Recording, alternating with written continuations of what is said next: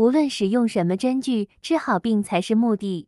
我是这样想的，呃，这个呢，从两个层面来说，一个层面呢，就是关于现在的针具五花八门，传统的九针残元提风皮，原力毫长大，这个是《内经九针十二元》第一篇就有啊。那这个，比如说刚才提到的这个浮针和原力针，原力针呢是九针之一，还有皮针，这些针松解的，在我们从两个，这是一个针具的一个层面。还有从组织这个层面来说，你到底是想松解哪一层组织？其实浮针呢，它主要是在疏松解离组第二层，就我们说的第二层里面，它在这一层松解。但是呢，这一层的松解呢，它这个针比较粗。还有一种叫薄针，它也是在这一层的。但是呢，皮针它就不是在这一层了，它作用的就是致密结缔组织，它就在第三层了。而且呢，还有这个 像你说的这个原力针，原力毫长大吗，它是第七根针，是原力针。第八根针是毫针，所以九针里面都包括的。那么原力针呢，它可以它钝性松解的时候，你可以在浅筋膜松解，你也可以在深筋膜。那个咱们薛立功老师啊，他中国经筋学，其实呢，咱们古代都有，就是关于经筋理论，现在呢刚刚引起重视。这么多年了，很多呢古籍呢对经筋这块呢没有进行系统的人的总结和这个 应用。那么古书里面都提到。现在呢，薛立功老师呢，他的《中国经筋学》一大厚本写的非常的详详尽啊，等于说把经筋进行了一次系统的总结。那么，不管你用哪一个针具，就好像十八般武艺武艺啊，刀枪棍棒斧钺钩叉，你用啥都没关系，但你一定要打在要害部位，你才能置人死地，对吧？你用的兵器就是想有杀伤力嘛，对不对？那你用的针具你就得打得准，打得正，你才能够把这个病治好。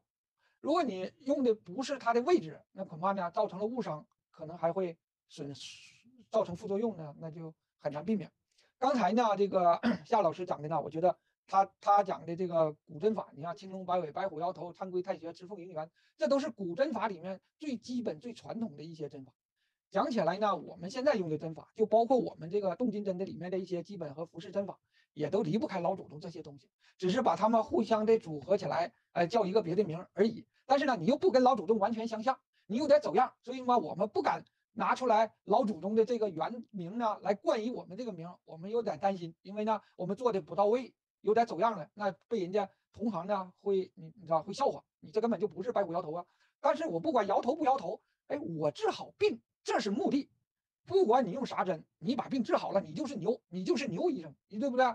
你用的再高级的针，你这个花样再多，你针感再强，没治好。那你说你要哪个呢？病人接受哪个呢？还有刚才呢，这个夏老师提到一个针感的问题，我觉得呢，这个也是咱们这个针灸界啊面临的一个学术上很有争议的问题，是不是非得都达到针感的这个效果才能有效啊？是不是都能气治病所？我也是张老师的学生，跟张老师也学不着，那我们都是同门。我有一次呢，张老师讲这个眼睛眼肌风池穴，他说扎风池穴这眼睛啊后面会胀。我就怎么都扎不上来，我就扎一个捅过捅过，在那捅过体查呀、捻转呐，有没有有没有啊？搞得很疼的，没有感觉。我问张老师，我说我咋没有这个气治病所的感觉呢？完了他他问我，他说这人眼睛啥病？我说眼睛没啥病啊，我就想做针感。你看那你就不对了，气治病所这人得有病啊，你没病他眼睛咋能有感觉呢？所以你看人家老人家一句话就点破了，你必须得有病，你这个真感才能引导到那里去。人眼睛没啥病，你非得要眼睛胀，你咋能胀出来呢？是不是？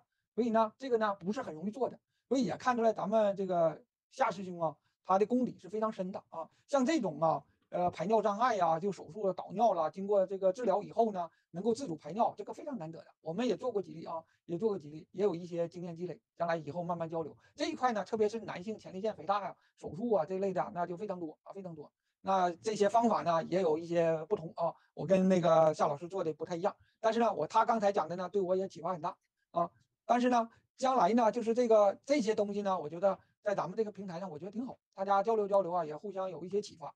另外呢，我觉得夏老师提个提他提个一个层次，古代层次的观点，其实古代层次是有的，三才五体都有，有三才，刚才他提到了天地人，另外还有五体呢，皮脉肉筋骨啊，这也是一个层次观。另外还有一个被忽视的。就是刚才呢，咱们这个夏师兄提到的分肉之间啊，非常重要。啥叫分肉之间呢？肌肉跟肌肉之间呢，这个肌肉肌肉是重叠的啊。你这个斜方肌下面有肩胛提肌，这肩胛提肌下面还有还有半肌肌啊。所以呢，一层一层的，你拿那个软件，它分八层，每一层肌肉中间的都有筋膜的，有这个间隙的，那就是我们的治疗层，治疗的部位。你针尖达到那里了，我非常同意，上来了，你的效果就上来了。所以说呢，老祖宗都提到了，还有一个老祖宗提的叫啥呢？近筋端啥意思？就是那个肌肉跟骨骼浮着点，也就是肌肉起止点呗。啊，起止点你找到了，你再找到那个分肉间，你就把病治好了。只是咱们现在呢，用西医，用现代人能听懂的语言，我把它用西医这套理论，我把老祖宗这个重新的解释了一下。其实呢，一点不脱离咱们老祖宗这一套。我在这个书里面，我都有详细的这个论述。一定呢，咱们不能够忘了这个老祖宗这些的所有的，咱们是传承下来的。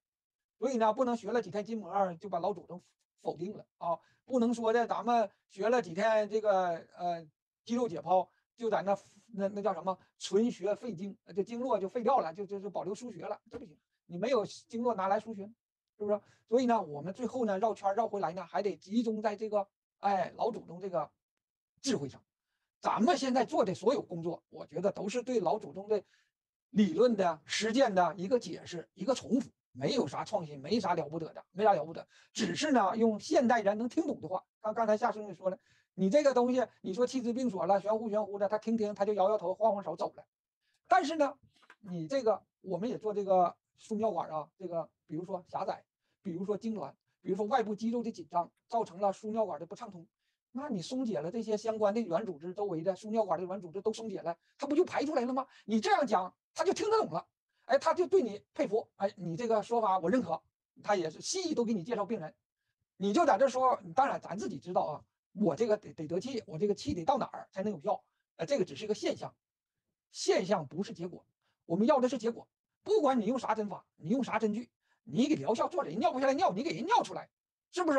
那你就牛。你再吹的再再响，你你扎不出来尿不下来尿，你还是不行啊，你还是不行啊。所以咱们注重唯一目的就是疗效。中医能存在，它的这个价值就是俩字儿：疗效。没有疗效，啥也别谈啊。所以我们这些人在海外呀。那就是靠真刀真枪、真正疗效来来立足的，没有效果早都被人淘汰了。